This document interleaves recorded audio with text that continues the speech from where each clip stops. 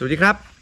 คลิปนี้นะครับจะมาตอบคำถามนะครับที่ถามมาว่าต้นจามจุลีนะครับปลูกในพื้นที่บ้านได้หรือเปล่านะครับ ก็จะตอบอย่างนี้เลยนะครับว่าปลูกได้ครับถ้าหากบ้านของท่านมีบริเวณพื้นที่กว้างนะครับ เพราะว่าต้นจามจุลีนั้นนะครับเป็นไม้ยืนต้นขนาดใหญ่นะครับ และรากของเขารากแขนงนะครับจะมีขนาดใหญ่ลอยไปตามผิวดินนะครับเลื้อยไปตามผิวดินนะครับรากที่ลงไปด้านล่างของเขานะครับจะมีแค่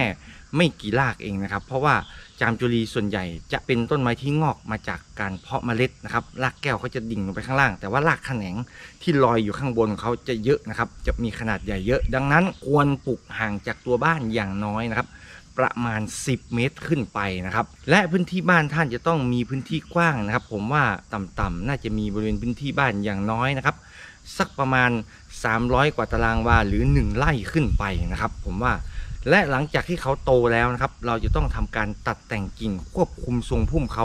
เพื่อไม่ให้ใหญ่มากนะครับ ต้นไม้ถึงแม้ว่าเราจะปลูกได้ในบริเวณบ้านเราเราต้องหมั่นควบคุมเขานะครับ ไม่งั้นเขาจะโตและใหญ่มากนะครับ เพราะว่าจามจุรีนี่ถ้าเขาโตเต็มที่ลำต้นของเขาเนี่ยครับสามสี่คนโอบนะครับ ดังนั้น การตัดแต่งกิ่งทุกครั้งของไม้ยืนต้นนะครับ จะเป็นการช่วยชะลอการเจริญเติบโตของต้นไม้ทำให้เราสามารถควบคุมทรงพุ่มและขนาดของต้นไม้ เพื่อไม่ให้ใหญ่เกินไปนะครับ ดังนั้นใครที่ถามผมว่าปลูกในบ้านได้ไหมนะครับ ตอบว่าได้แต่ว่าบ้านท่านจะต้องมีพื้นที่กว้างนะครับผม